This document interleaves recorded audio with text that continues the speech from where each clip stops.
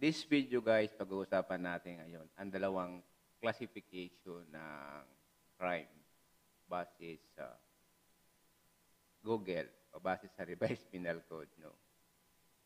Dalawang klase. So, by the way, kung ikaw ay first time dito sa aking channel, no?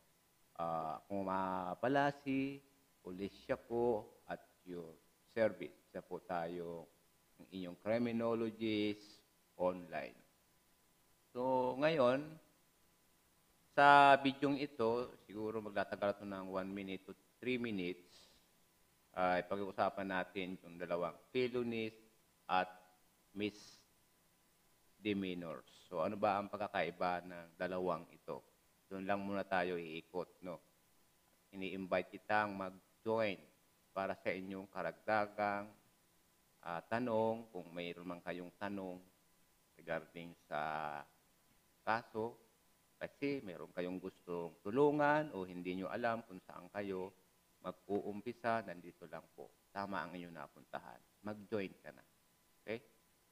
At siyempre, subscribe and i-click mo ang all notification para yon kapag mayroon tayong activity, nag-upload tayo ng video, ay manonotify ka.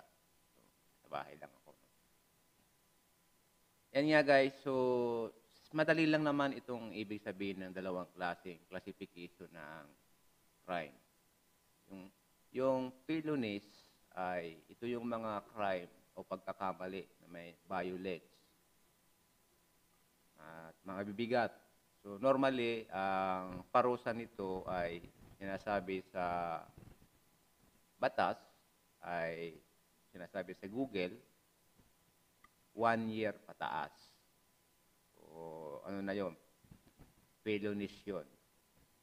Otherwise, yung demeanor ay hindi ko na guys i-words by words no kasi may Google naman tayo. Tingnan niyo na lang sa Google kung anong mga definition yan. Normally hindi naman nagkakalayo yan.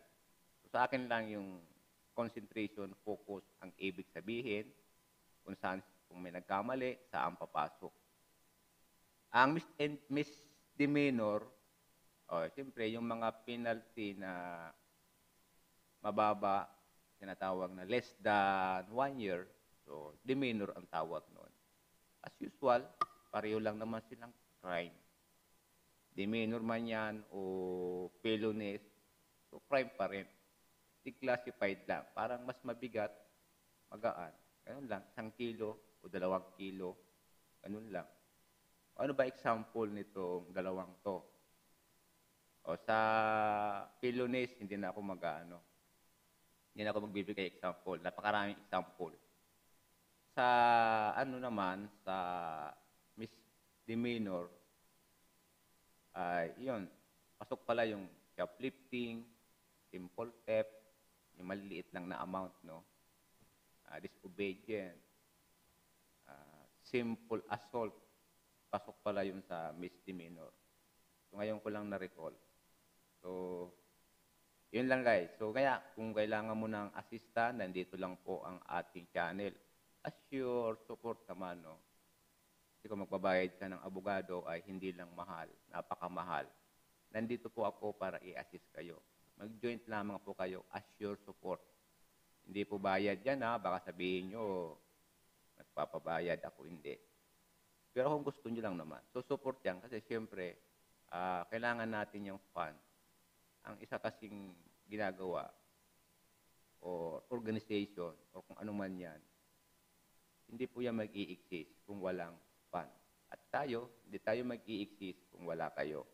Kaya make sure na huwag nyo skip yung ads natin, likes kayo para lumakas yung video natin at patuloy tayong mag-improve, no? Para sa iyong mga request, kung ano man yan, ma mag-join po kayo para makuha nyo yung access ko. At tawag, chat kung, kung available kayo, yun ang ginagawa natin para i-assist kayo. So, yan po.